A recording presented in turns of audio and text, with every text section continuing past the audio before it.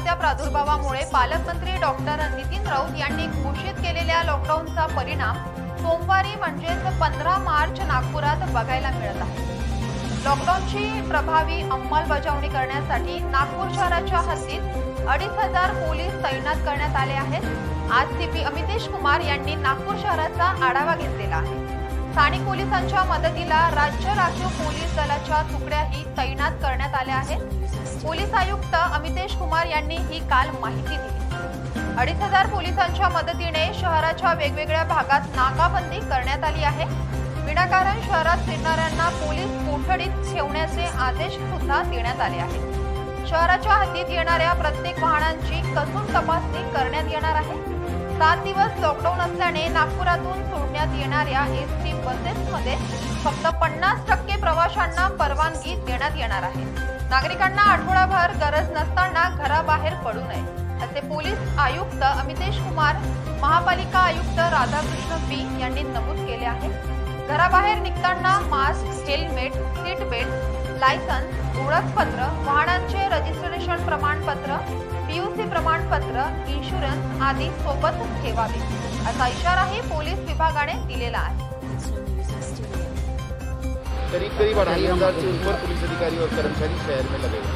Sir Nagpur की जनसंख्या पचास लाख के तकरीबन है ऐसे में पुलिस की संख्या कम है लॉकडाउन के चलते सब कैसा मैनेज कर पाओगे.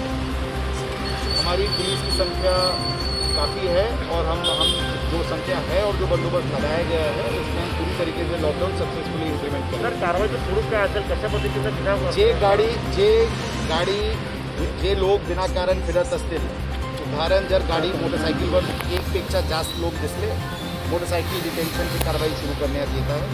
फोर व्हीलर्समध्ये दोनपेक्षा जास्त दिसले एक गाडी पण जप्त करण्यात येत आहे. जे लोक विनाकारण फिरत आहेत त्यांच्याविरुद्ध गुन्हा दाखल करण्यात येतो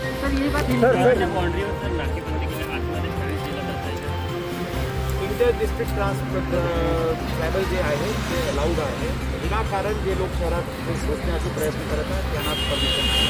सर कार्रवाई क्या होगी? जिस जिस मोटरसाइकिल्स पे दो एक से ज़्यादा लोग दिखेंगे उनको मोटरसाइकिल्स डिटेन किया जाएगा। इसी तरह फोर व्हीलर से जहाँ दो से ज़्यादा लोग दिखेंगे वो गाड़ियाँ डिटेन की जाएँगी। बिना कारण जो लोग रस्ते पर घूम रहे हैं उनके विरुद्ध गुना सर कुछ ट्रेडर्स कम्युनिटी ने बोला है कि हम लॉकडाउन को हम मानेंगे नहीं और वो दुकानें ओपन करेंगे। इसमें पुलिस का क्या रोल रहेगा?